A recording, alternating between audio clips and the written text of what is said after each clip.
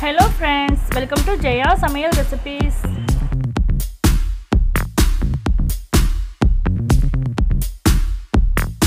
இன்னைக்கு இந்த வீடியோவில் ரொம்ப சிம்பிள் அண்ட் டேஸ்டியான காலிஃப்ளவர் பொரியல் எப்படி செய்கிறதுன்னு பார்க்க போகிறோம் அதுக்கு ஒரு காலிஃப்ளவரை மீடியம் பீசஸாக கட் பண்ணி எடுத்து வச்சுருக்கேன்.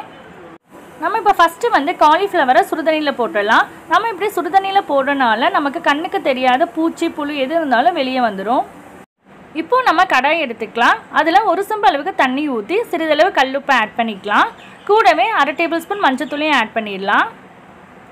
தண்ணி நல்லா கொதிச்சோன்னே நம்ம கட் பண்ணி வச்சுருக்க காலிஃப்ளவரை போட்டு ஒரு அஞ்சு நிமிஷத்துக்கு நல்லா வேக வச்சுக்கலாம்.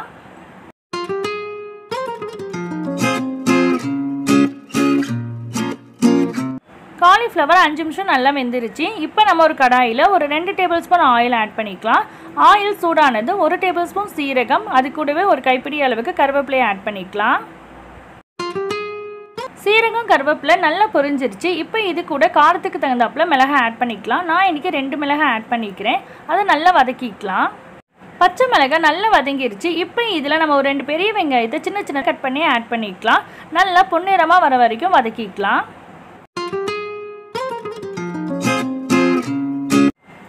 வெங்காயத்தை நல்ல பொன்னிறமாக வதக்கியாச்சு. இப்போ இதில் ஒரு மீடியம் சைஸ் தக்காளியை கட் பண்ணி ஆட் பண்ணிக்கலாம். தக்காளி கூட சிறிதளவு உப்பு ஆட் பண்ணி நல்லா வதக்கிக்கலாம். தக்காளி வதங்குறதுக்குள்ளே நம்ம மசாலா ரெடி பண்ணிடலாம். மிக்ஸி ஜாரில் ஒரு டேபிள் ஸ்பூன் சோம்பு ஒரு சில்லு அளவுக்கு தேங்காய் ஒரு டேபிள் ஸ்பூன் தனி மிளகாய் தூள். இது எல்லாத்தையும் போட்டு நல்லா நைஸாக நம்ம அரைச்சிக்கலாம். தக்காளி வெங்காயம் எல்லாம் நல்லா வதங்கிருச்சு. இப்போ நம்ம அரைச்சி வச்சுருக்க பேஸ்ட்டு இதில் ஆட் பண்ணிடலாம். இது கூட சிறிதளவு தண்ணியை ஆட் பண்ணிடலாம். இப்போ இது எல்லாத்தையும் நல்லா வதக்கிக்கலாம்.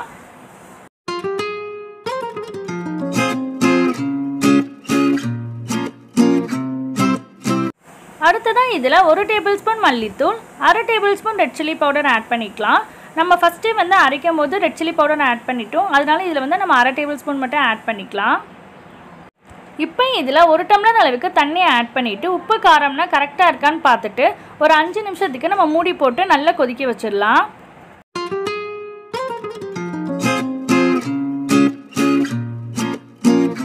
அஞ்சு நிமிஷம் ஆயிடுச்சு இப்போ நம்ம ஓப்பன் பண்ணிடலாம். மசாலா நல்லா கொதிச்சு பச்சை வாசனை போயிடுச்சு இப்போ நம்ம வேக வச்சு எடுத்து வச்சிருக்க காலிஃப்ளவரை ஆட் பண்ணிடலாம்.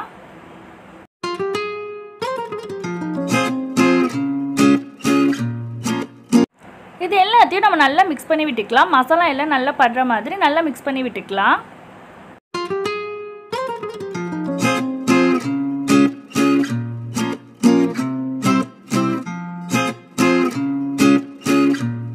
காலிஃப்ளவர் நல்லா வெந்துருச்சு. மசாலா எல்லாம் நல்லா மிக்ஸ் ஆகி சூப்பராக வந்திருக்கு.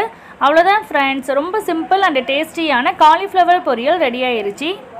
இது சாம்பார் சாதம் புளிக்குழம்பு ரசம் சாதம் தயிர் சாதம் எல்லாத்துக்குமே ரொம்ப சூப்பர் காம்பினேஷனாக இருக்கும். நீங்களும் கண்டிப்பாக உங்கள் வீட்டில் ட்ரை பண்ணி பாருங்கள் ஃப்ரெண்ட்ஸ் எப்படி இருந்துச்சுன்னு எனக்கு கமெண்ட் பண்ணுங்கள் என்னோட சேனலை இது வரைக்கும் சப்ஸ்கிரைப் பண்ணாதவங்க மறக்காமல் சப்ஸ்கிரைப் பண்ணி பெல் ஐக்கனை கிளிக் பண்ணிடுங்க. அப்போ தான் நான் போகிற நோட்டிஃபிகேஷன் உங்களுக்கு அப்டேட் ஆகிட்டே இருக்கும்.